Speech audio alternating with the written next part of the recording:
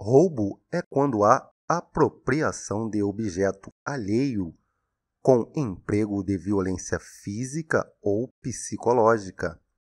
Já o furto é caracterizado pela apropriação de objeto alheio sem consentimento e sem o uso de violência.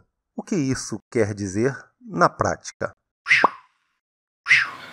Embora esses termos sejam usados como sinônimos nas conversas do dia a dia, eles caracterizam duas situações bem diferentes.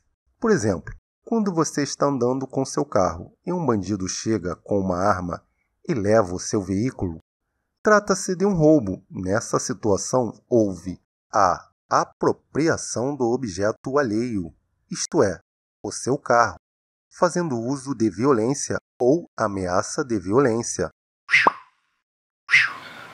Agora imagine que você deixe seu celular em cima da sua mesa no restaurante e vai ao banheiro. Na volta, seu celular desapareceu.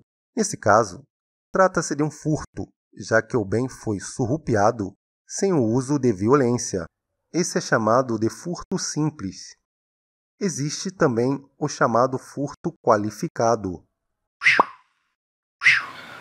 O furto qualificado é quando há a subtração de um bem mediante a quebra de uma barreira ou outros agravantes. Por exemplo, se alguém rouba seu carro arrombando a porta, ou rouba algo da sua casa pulando o muro ou quebrando sua porta. E aí, pessoal, gostou desse vídeo? Se gostou, deixe aquele amistoso like. E se você é novo por aqui, se inscreva e até o próximo vídeo.